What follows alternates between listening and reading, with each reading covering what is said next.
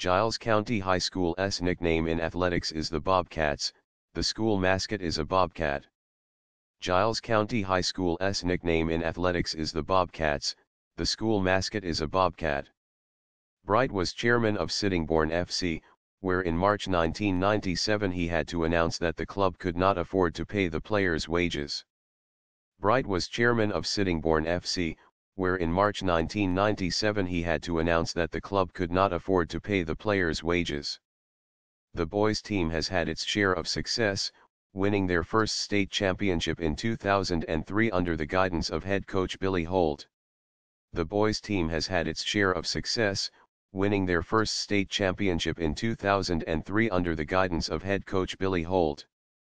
Giles County High's math options include pre-algebra, algebra 1 and 2, geometry, pre-calculus, calculus, and college algebra. Giles County High School's nickname in athletics is the Bobcats, the school mascot is a bobcat.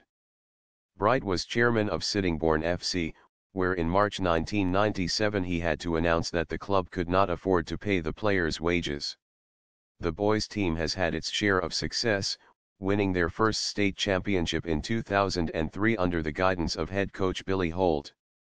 Giles County High's math options include pre-algebra, algebra 1 and 2, geometry, pre-calculus, calculus, and college algebra.